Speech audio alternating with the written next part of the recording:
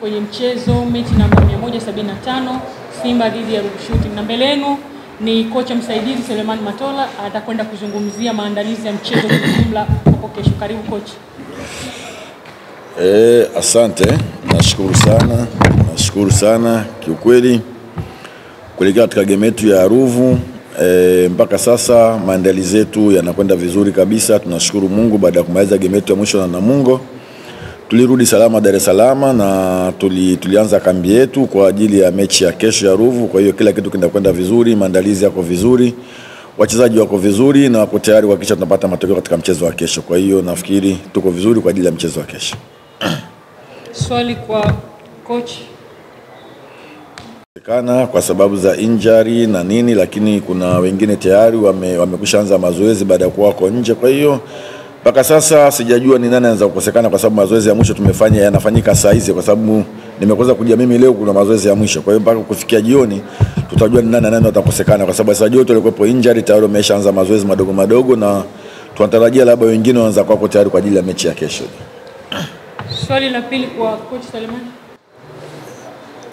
E, nafikiri ni kweli tuna, tuna mechi tatu hatujapata matokeo mazuri, tukianzia mechi ya Polisi Tanzania, mechi ya watani Yanga na Namungo. Karibu game zote tumesuluhu. Kiukweli kwa timu kubwa kama Simba kutokupata matokeo katika mechi tatu sio kitu kizuri. Nafikiri tunakitambua kama benchi la ufundi pamoja na wachezaji, tulifanya kikao na kuhakikisha kwamba katika game zinazokuja tuweze kupata matokeo. Kwa hiyo nafikiri tumejipanga kuhakikisha kesho tunapata matokeo katika game ya Ruvu.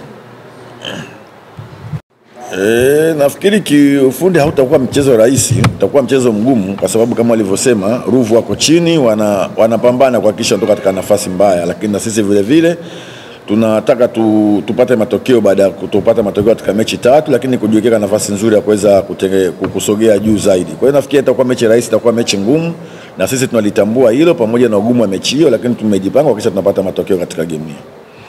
Swali la nyongeza.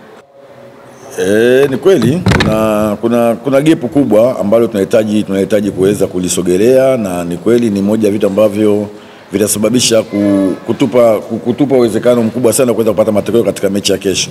Gepu ni kubwa, lakini vile vile pamoja na kulewaza gepu, lakini vile vile tunakutana na timu ambayo kama ilivyosema mwanzoni bado wanahangaika kujitoa katika nafasi ambayo wako mbaya kwa, kwa hilo kitu basi itakuwa mechi rahisi na imani kabisa itakuwa ni mechi ngumu na ni mechi ya upinzani sana. Kwa hiyo kwa sisi kwa kulijua hilo tumejipanga pamoja na ugumu na upinzani huo tupate alama tatu katika mgemo wa kesho.